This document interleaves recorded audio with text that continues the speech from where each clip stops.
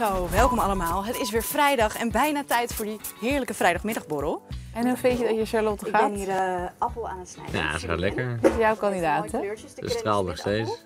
Die marineer ik eventjes in een beetje citroen, want die komt straks bij mijn dragon citroenblinetjes met paling. Eh, ik ga natuurlijk ook iets met vlees maken, dus ik maak eh, lekker steak tartaartje met truffelmayonaise, kwartel-eitje eh, op brioche toast. En voor mij is een vrijdagmiddagborrel niet compleet zonder gin tonic.